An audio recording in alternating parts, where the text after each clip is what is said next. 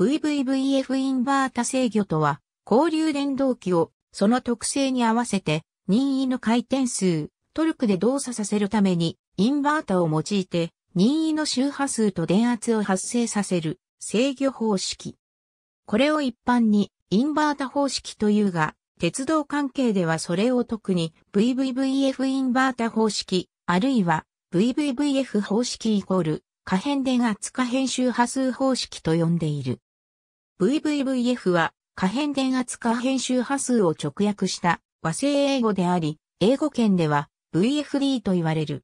交流の周波数を追って回る交流モーターを使う場合、従前は任意周波数の電源がなかなか得られず、商用電源周波数固定の電源で起動させるため、任意速度での運転ができなかった。商用周波数での同期速度付近でのみ、運転可能で、起動トルクが小さかったり、効率を落としたり、定常運転時は大出力交流モーターを軽負荷で使っていた。そうした経過で、その動作特性も取扱法も商用周波数固定でのものが広く知られているだけで、回転数、周波数特性についてはほとんど記述がなく、知られていなかった。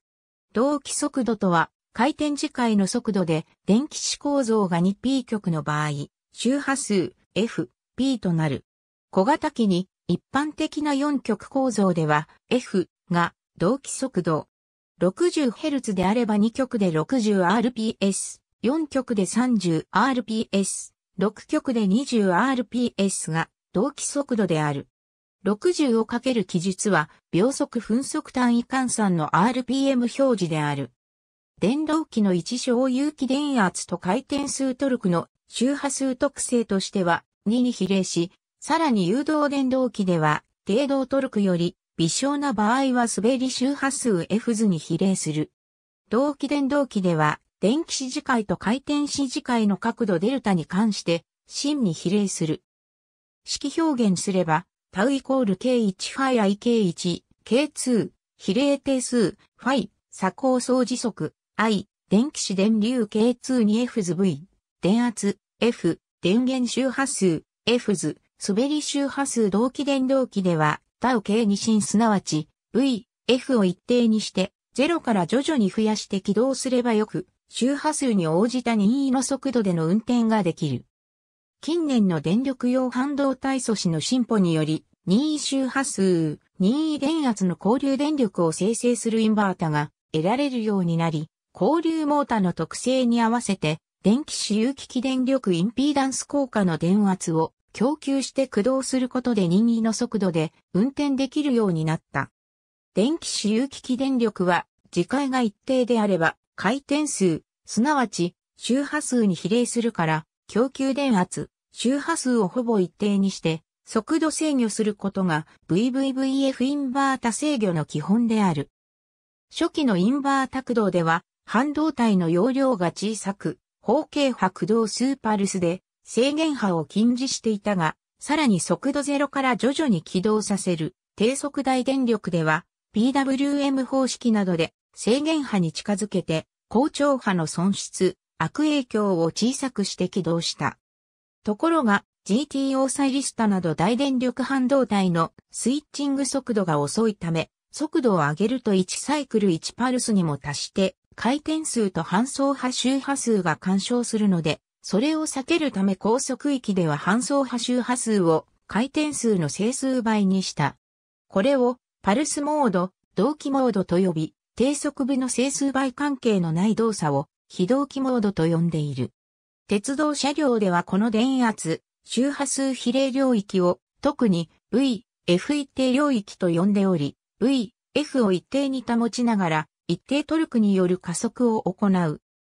インバータの最大出力と最大電圧以降の高速領域は電圧一定で周波数を上げるので CVVF 領域と呼ぶが CVVF 領域のうち、電流一定で加速を続ける領域は、誘導電動機であれば、滑り周波数を増やして加速するが、供給電力としては一定なので、低出力領域と呼び、トルクは回転速度に反比例する。低動トルクに近づくと、滑り周波数は増やせなくなり、周波数のみを増やす特性領域となり、トルクは回転速度の事情に反比例するとともに出力も下がっていく。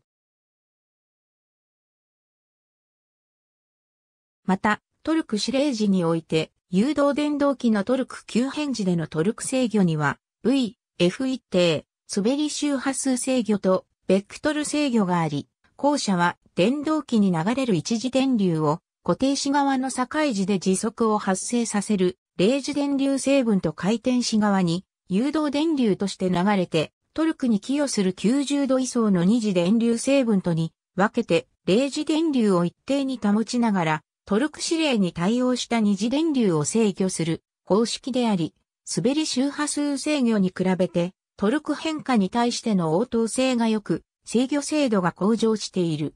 直流電動機制御との比較で言えば、電気使有機器電力内部抵抗効果を直流電動機に加えて起動させるのが抵抗制御や電気子直波制御の基本であるから、VVVF インバータ制御はそれに周波数と位相が加わるだけで基本は同様である。低出力領域と特性領域についても直流電動機の弱解時領域イコール低出力領域特性領域と変わらない。また、V、F 一定領域も低トルクに制御すれば、抵抗制御直流電動機での低引っ張り力領域と同様である。インバータ制御の対象となる交流モータは、初期の TGV などでは、電磁赤動機電動機が用いられているが、TGV の最新モデルでは、カゴ形参照誘導電動機に変わっている。日本ではカゴ形参照誘導電動機が圧倒的だが、近年は永久磁石動機電動機が用いられている車両が登場している。高効率を追求するエアコン用として、日本では近年ブラシレス直流モーターを使うようになった。また家電用など、小型機には90度位操作の2小交流駆動があるが、多くは3小交流である。誘導電動機の滑り率 S は回転子での電力損割合なので、低速回転ほど損失率が増え効率が下がるので、低速回転になる直接駆動モータでは、滑り回転のない同期電動機が選ばれることが多い。ありがとうございます。